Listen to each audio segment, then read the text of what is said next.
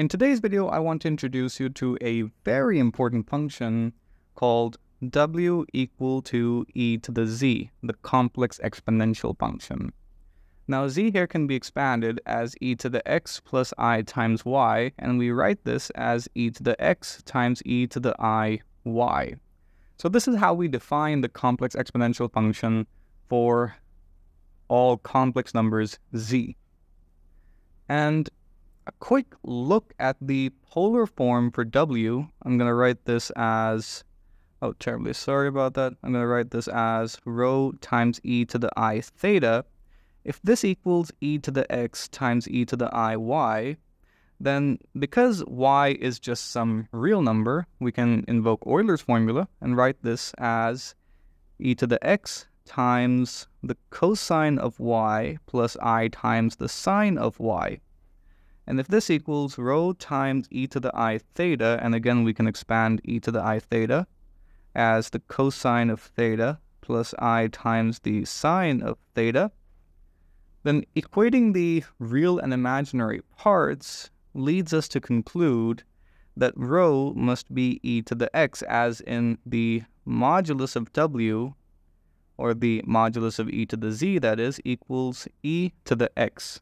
As in if you want the absolute value of e to some complex number, you just raise e to the real part of that number. And similarly, the argument of w would be the y variable, as in the imaginary part of the complex input z. And because of the way the function is defined, that is e to the x times e to the i y, where this thing here is, as we know, 2 pi periodic, so that means the exponential function e to the z is periodic as well. But what exactly is the time period in this case? Well, if you take e to the z and replace z by z plus 2 pi k times i, then we can expand this as e to the x plus i y plus 2 pi ki. And collecting the imaginary part terms, we have x uh, plus i times y plus 2 pi k. And this, of course, can be expanded as e to the x times e to the i y plus 2 pi k, which can be expanded further as e to the x times e to the iy times e to the 2 pi ki. And this thing was just e to the z, and this thing is, of course, equal to 1. So all of this implies that e to the z plus 2 pi ki equals e to the z, as in the period of this function is 2 pi ki, where k is, of course, some integer.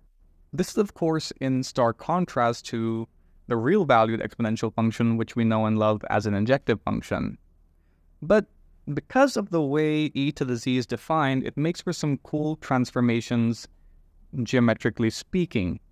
So here I have my two complex planes, one being the z plane, and the other is the w plane and we're considering transformations from z plane to w plane under w equals e to the z. And let's take up two cases for curves in the w plane. I'm talking about horizontal and vertical lines. Starting off with the horizontal lines case, if I draw a horizontal line and traverse this from left to right, then what is the shape of the transformed curve in the w plane. Well, let's take a moment to look at what exactly a horizontal line means. Well, a horizontal line just means that I've fixed the imaginary part of each complex number z here to some number a. And what does that mean for e to the z? Well, we saw earlier that if we define w as e to the z, then the absolute value of w is e to the real part of z, that is x, and the argument of w equals y, that is the imaginary part of z.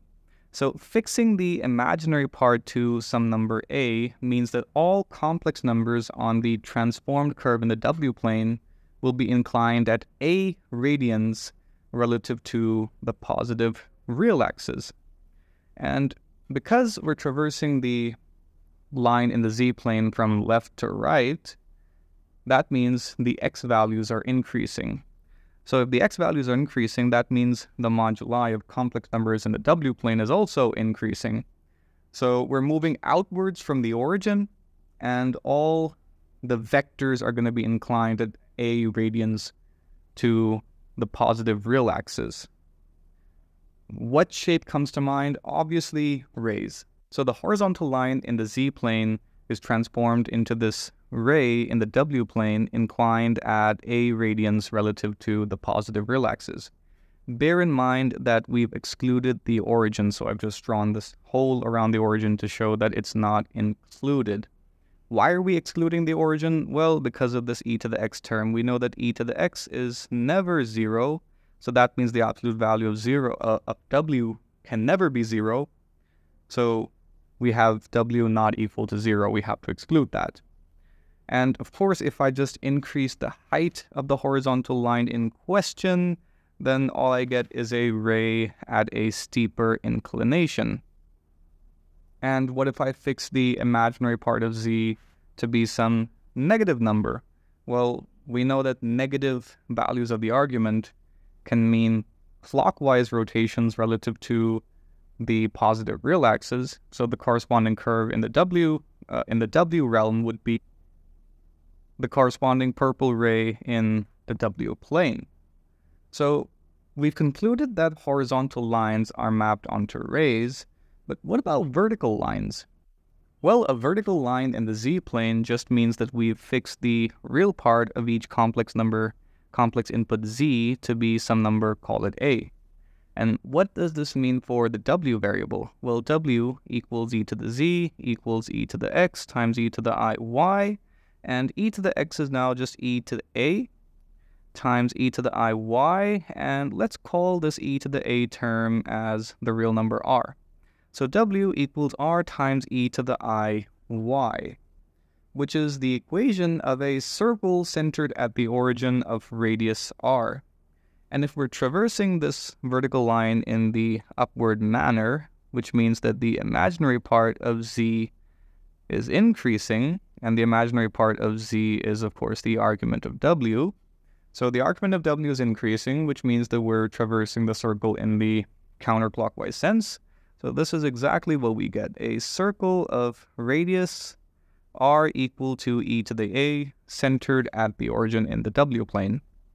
Shifting this vertical line in the z plane leftwards means that you have a smaller radius for the circle. Okay, cool.